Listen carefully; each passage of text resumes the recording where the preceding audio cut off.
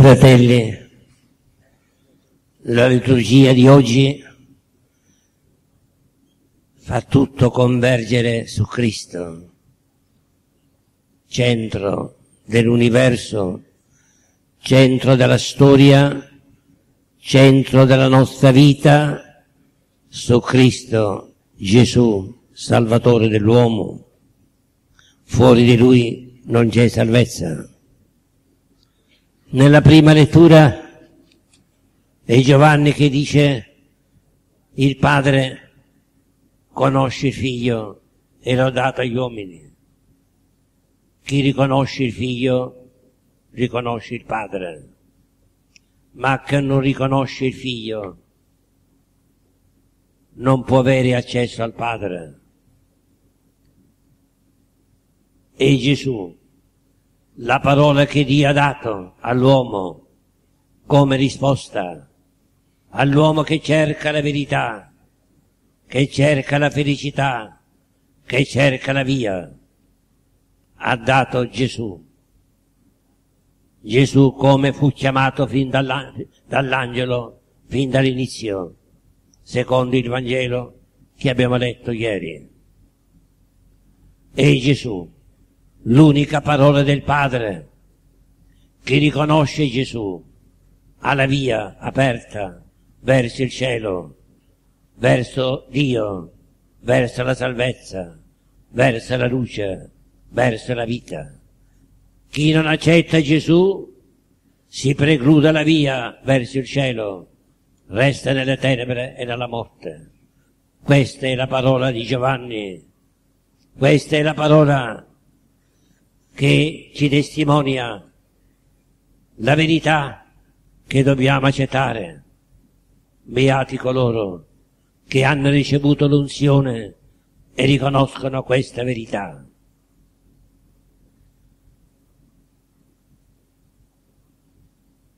Il padre punta verso il figlio e mostra il figlio.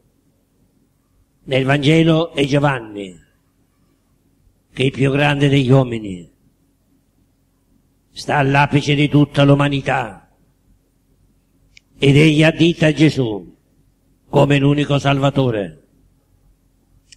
Sei tu il Cristo? Io non lo sono. L'unto è un altro. L'unto è uno che sta in mezzo a voi, che voi non conoscete. Io vi battezzo in acqua, ma c'è quest'uno che è in mezzo a voi. Egli vi battezzerà in fuoco e Spirito Santo. È Lui il Cristo, è Lui il Salvatore. Ecco la voce di Giovanni che rappresenta la voce dell'umanità che cerca il Signore, che addita Gesù, unico Salvatore. Il cielo e la terra convergono verso Gesù e ci additano in Gesù l'unica salvezza in mano agli uomini vogliono scardinare dal cuore degli uomini questa verità è soltanto il maligno che impera in questo mondo, che vuole cancellare questo nome, perché questo nome è la sua rovina e vuole portare la rovina agli uomini.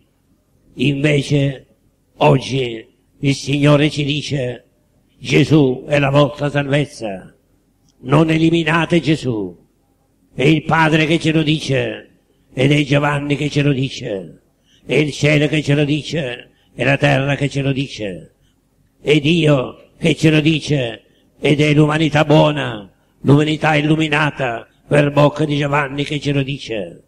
È Gesù l'unica salvezza dell'uomo. E questa verità centrale che noi dobbiamo accettare, che dobbiamo difendere, che dobbiamo innanzitutto comprendere e gustare.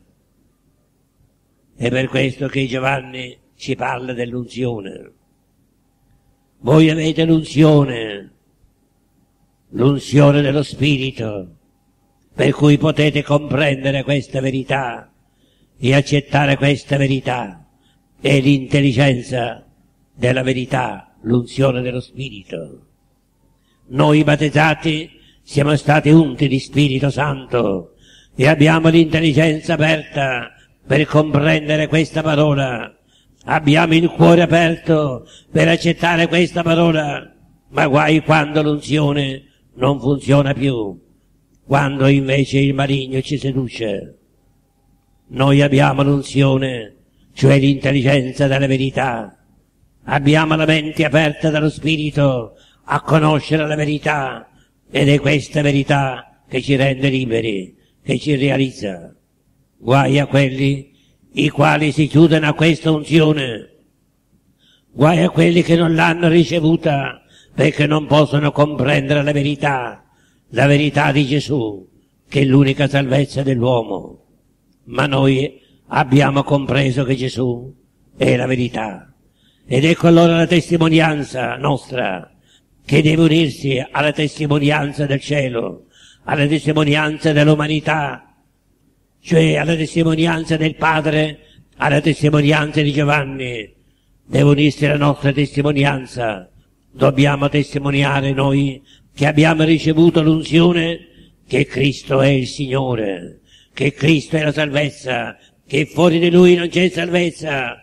Oggi dobbiamo testimoniarlo, oggi che il mondo, sotto la spinta del maligno, cerca di sradicare dal cuore dell'uomo Cristo, unica salvezza, cerca di sradicare la luce per rimettere le tenebre, di sradicare la grazia per rimettere il peccato, di sradicare la vita per rimettere la morte.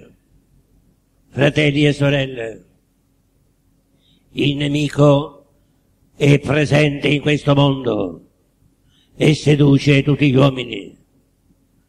Nella verità, nella fedeltà alla parola di Dio, dobbiamo aderire a Cristo personalmente, ma aderire realmente a Cristo, con tutta la mente, con tutto il cuore e con tutte le opere, cioè vivere di fede, di speranza e di carità, e dobbiamo a denti stretti difendere questa nostra posizione contro il mondo che cerca di eliminare Cristo dalle coscienze degli uomini, contro una società che vuole sradicare Cristo dal cuore degli uomini, una società permeata dal marigno, condotta dal marigno attraverso strutture contorte, attraverso un commercio scon- scon- sconforto e ritorto dove si insidia e si insedia il nemico per poter insidiare gli uomini,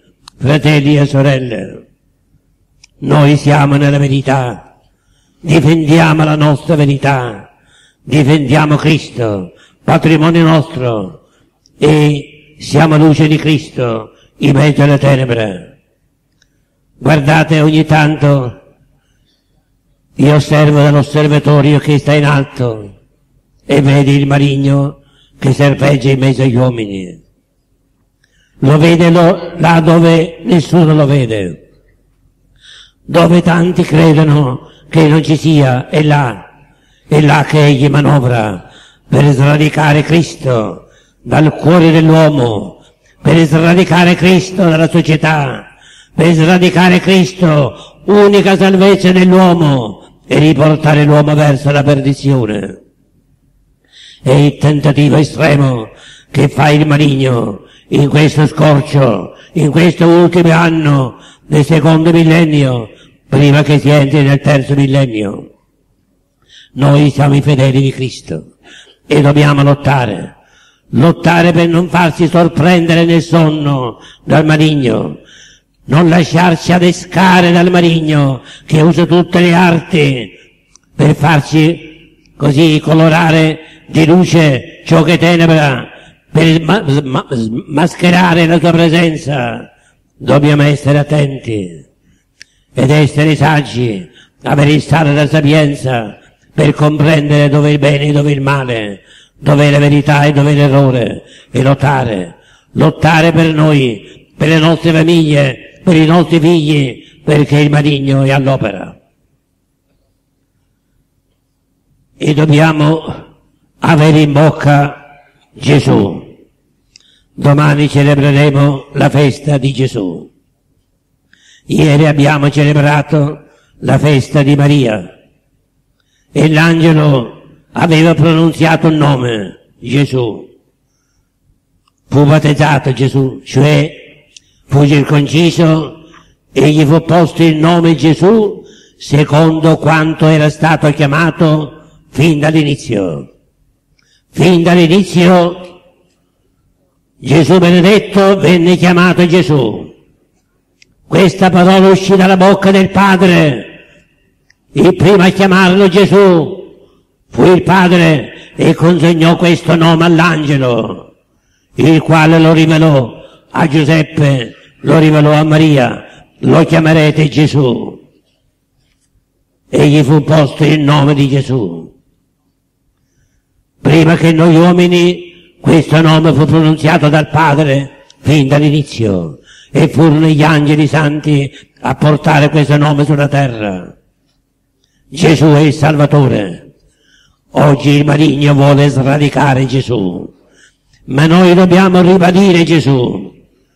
Dobbiamo pronunziare il nome di Gesù, non soltanto con le labbra, ma con il cuore, nella fede. Dobbiamo avere Gesù dentro di noi, fuori di noi. Dobbiamo ribadire che Gesù è Gesù il Salvatore, l'unico Salvatore nostro, l'unico Salvatore del mondo. Chi riceve Gesù riceve il Padre, riceve la vita. Chi non riceve Gesù è nella morte, è nella morte, senza rimedio. Non c'è salvezza fuori di Gesù. Questa è la parola d'ordine. Fuori di Gesù nessuna salvezza, per nessuno, perché il Padre ha posto la salvezza di tutti.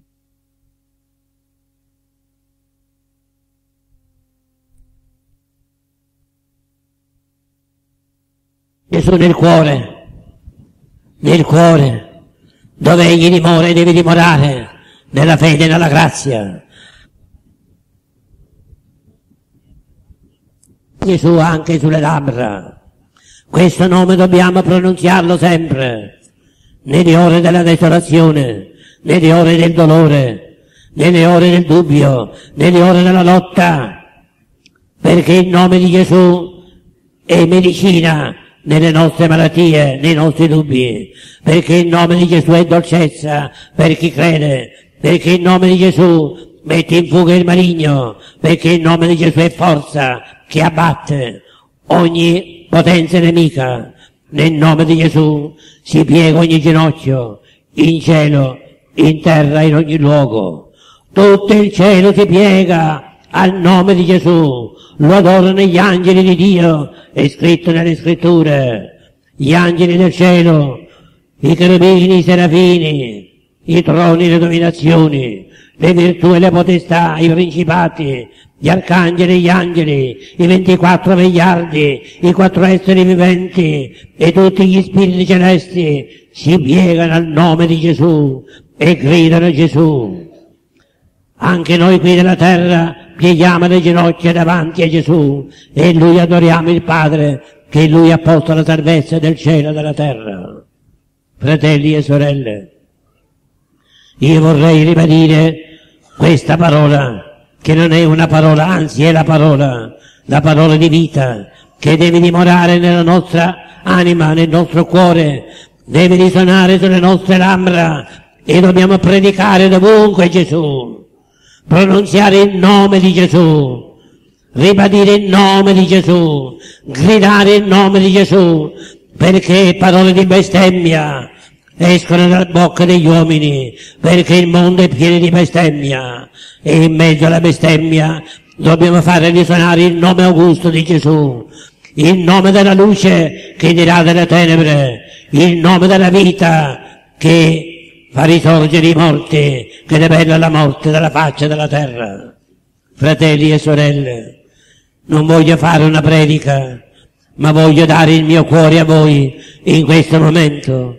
Voglio consegnarvi Gesù, salvezza, Gesù, Gesù, Gesù, ricevetelo questo Gesù dentro il vostro cuore, sia la vostra forza, la vostra luce, sia la vostra guida nel cammino, sia la spada con cui voi potete sconfiggere il nemico, sia il bastone di viaggio nel cammino della vita. Gesù nella mente, Gesù nel cuore, Gesù nelle labbra, Gesù nella vita, perché Gesù è il figlio di Dio e il salvatore dell'uomo. Fratelli e sorelle, non mi ingannino gli uomini, non mi inganni il nemico, non mi inganna questa società costruita dal maligno su basi false, non mi ingannino gli uomini che sono ministri del maligno, ma ricevete l'unzione dello Spirito, il santo battesimo che avete ricevuto, sia luce per la vostra mente, sia forza per il vostro cuore. Il santo battesimo rivive in voi, voi avete ricevuto il tatuaggio divino. Sì, il tatuaggio divino. Oggi il nemico cerca in alcuni elementi di fare il tatuaggio. Quanti giovani tatuati? Che segna questo? Che segna questo? È il segno del carattere indelebile. È una smorfia del nemico. Il battesimo imprime in noi il carattere indelebile, il sigillo dello Spirito Santo. Noi battezzati abbiamo questo sigillo, sempre e dovunque, perché è indelebile. E il maligno cerca di rendere suoi servi attraverso un segno visibile, il tatuaggio. È il segno del nemico. Tante volte il nemico non raggiunge lo scopo perché i giovani nostri non sono coscienti, ma è il segno del nemico, è il segno del, questo tatuaggio che è quasi indelebile, è il segno visibile dell'appartenenza a lui, dell'appartenenza alle tenebre, è come una distruzione del segno indelebile del battesimo, del segno interiore. Fratelli e sorelle, tutto converge per farci comprendere bene la lotta che stiamo ingaggiando e che stiamo così conducendo avanti. La lotta tra le tenebre e la luce, la lotta tra il corpo di Cristo mistico e il corpo del diavolo mistico, come lo chiama Sant'Agostino, è la lotta tra i due regni, ma il regno della luce deve trionfare sul regno delle tenebre e nel nome di Gesù che noi dobbiamo combattere e nel nome di Gesù noi trionferemo avremo i nostri martiri, avremo i nostri feriti, avremo i nostri morti, ma la battaglia è sicuramente vinta da Cristo, perché Lui è il vittorioso.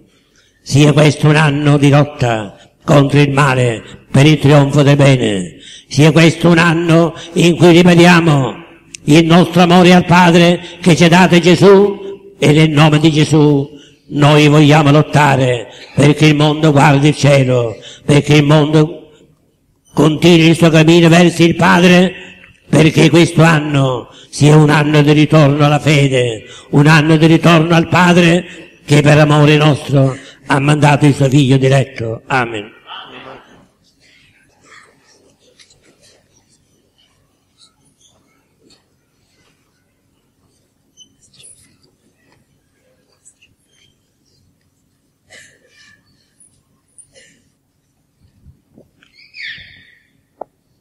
Signore, rompi il gioco del maligno. Tu sei venuto a rompere il gioco, come dice il profeta, il gioco che grava sulle nostre spalle e noi siamo liberi perché questo gioco è stato infranto. Signore, protesto domani.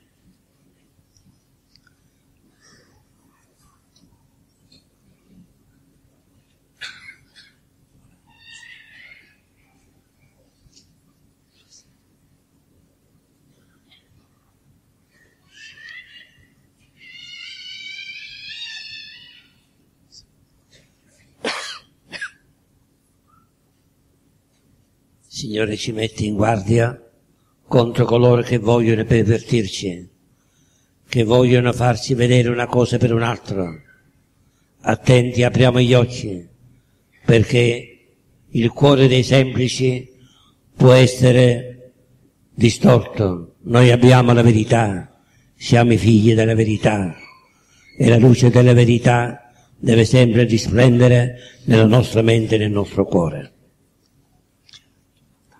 Prima della lettura delle intenzioni che sono poco questa mattina, vorrei presentarvi questo foglio e l'amen. All'inizio c'è una poesia bella, è nato il bambino Gesù, dopo il buon Natale e felice anno nuovo e poi c'è un articolo mio, è una lettera che io invio, invio a tutto il gruppo sulla preghiera vera. Qual è la preghiera vera? Il Padre cerca adoratori veri, non adoratori falsi. E l'anno del Padre dobbiamo ritornare alla preghiera vera quella che si consuma dentro il cuore, alla preghiera personale. Tutti i danni nostri dipendono dalla mancanza della preghiera personale. Se noi ci, ci inginocchiamo davanti al Padre, nel chiuso della nostra camera, e passiamo come Gesù le notti in preghiera, allora tutto cambierà. La forza nostra è la preghiera personale. Nei nostri gruppi è la preghiera personale che assicura così fervore. Qui è scritto la mancanza della preghiera personale può portare all'esaurimento spirituale. La mancanza di entusiasmo il raffreddamento nella carità fraterna, l'intiepidimento della nostra vita, il decadimento dei carismi dipendono dalla mancanza della preghiera personale.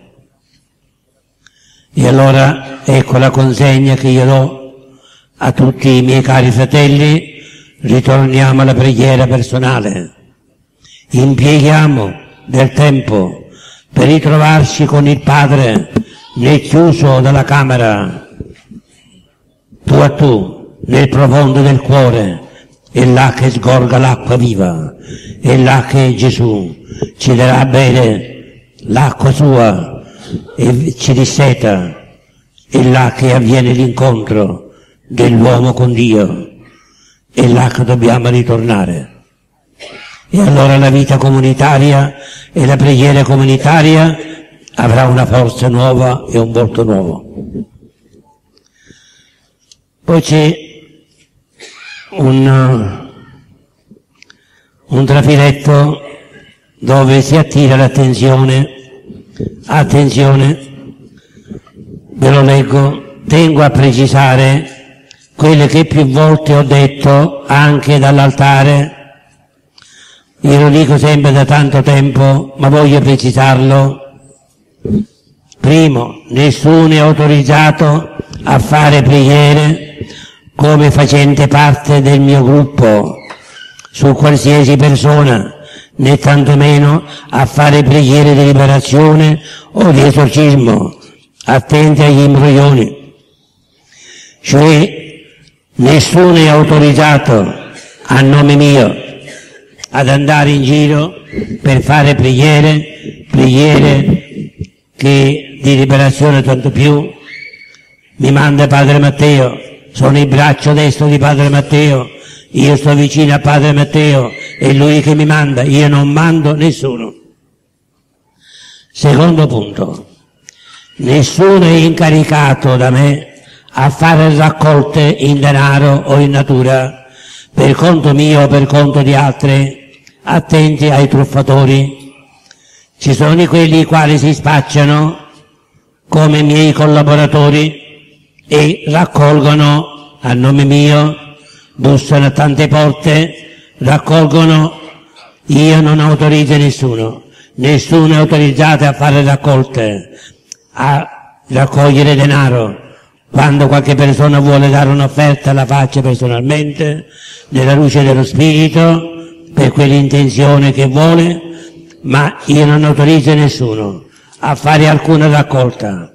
Nessuno deve andare a nome mio, da questo, da quello, a dire raccolgo per Padre Matteo oppure per conto di Padre Matteo. Io lo smentisco in pubblico perché ho sentito tante voci che non vanno bene, voci che possono anche danneggiare.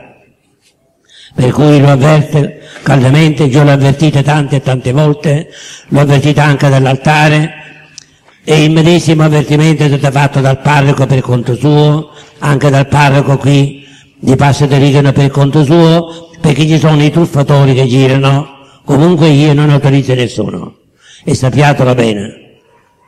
Quel poco che il Signore ci manda, ce lo manda Lui, ma noi non facciamo raccolte e non deleghiamo nessuno a raccogliere denaro.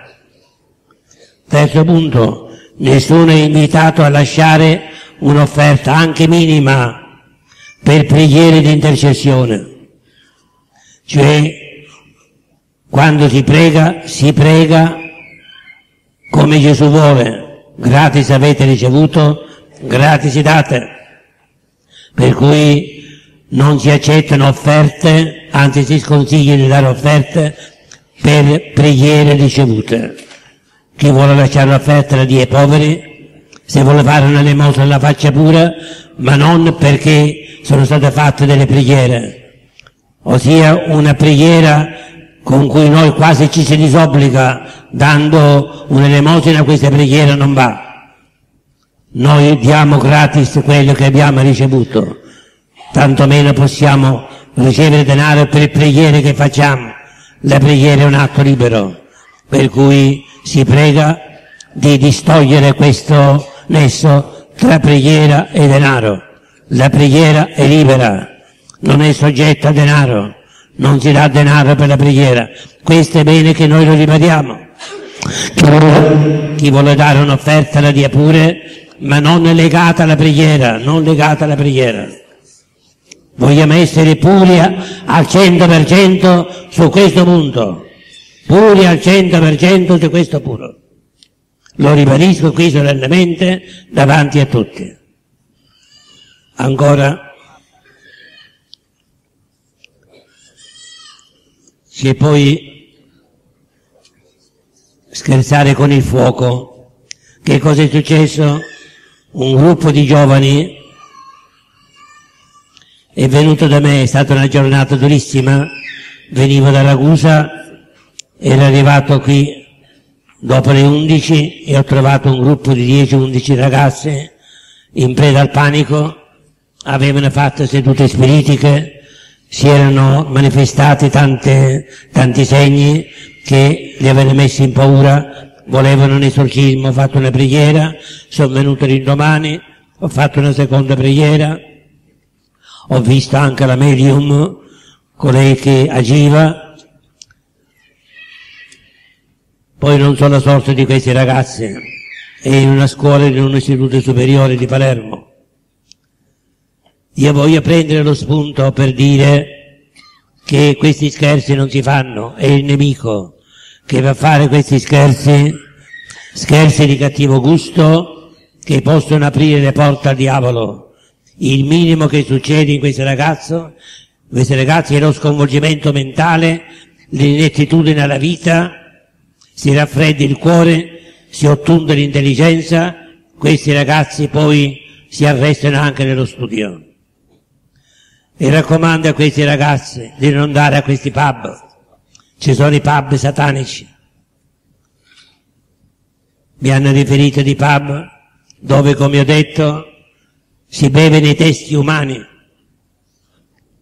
Si beve, si gozzoviglia, tutto è nero, tutto induce al male. E attenti ai papà e alle mamme, alla televisione, state attenti a selezionare i programmi, perché attraverso i programmi i nostri bambini imparano parolacce, imparano parolacce e dicono queste parolacce al papà e alla mamma come se fossero dei regali. Lo spettacolo cessa ma la parolaccia è rimasta, l'idea è rimasta e questi bambini crescono maliziati, non più innocenti come prima. State attenti dove comprate, nei negozi, dove la Niege mette sempre il suo marchio, dove ci sono delle figure di horror, sia nelle camicette, sia negli slip maschili e femminili. È uno scempio attraverso, attraverso cui il nemico entra e fa danno. Tutto questo a proposito di questi ragazzi che sono venuti per chiedere aiuto. Il resto potete leggerlo. E allora, fratelli e sorelle, rimettiamoci nella via della luce ed evitiamo la via della tenebra. Il Signore ci lascia liberi. La via del bene e la via del male. La via del bene conduce alla vita, la via del male conduce alla morte, dice la scrittura. Adesso leggiamo le poche intenzioni di preghiera e continuiamo nella Santa Messa. E vogliamo invocare il nome di Gesù, perché il nome di Gesù deve accompagnarci sempre. Il nome di Gesù che significa la persona di Gesù. Anche la nostra preghiera è fatta nel nome di Gesù, nella persona di Gesù. È lo Spirito Santo che muove in noi Gesù a pregare. La preghiera che viene fatta nel nome di Gesù, cioè quando è Gesù che prega in noi, è esaudita. Perché tante preghiere non sono esaudite? Perché non sono fatte nel nome di Gesù, cioè non è la persona di Gesù in noi che prega, ma siamo noi a pregare. E allora invochiamo questo nome. A furia di invocarlo deve scendere dentro di noi e possederci totalmente.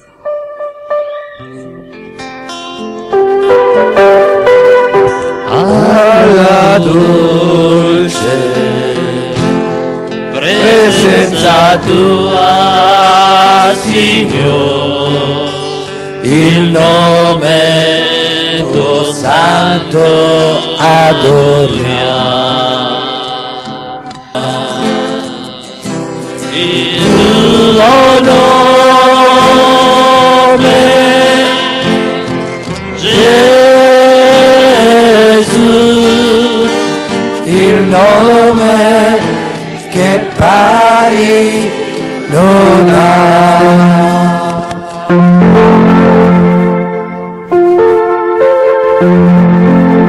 Il gioco che gli pesava sulle spalle e la sbarra che era sul suo collo, il bastone del suo cugino, tu hai spezzato come al tempo di Madian, perché un bambino è nato in mezzo a noi e questo bambino è il figlio di Dio, è chiamato Gesù, consigliere mirabile, Dio potente, principe della pace.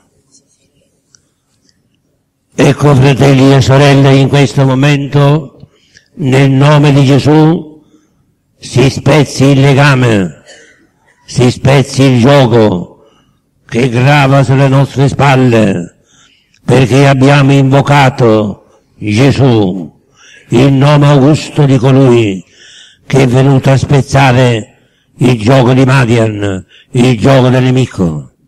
Si spezzi in questo momento il gioco che grava sulle nostre spalle e tutti possiamo, nel nome di Gesù, Re della pace, proseguire il cammino di quest'anno verso il Padre. Amen. Amen.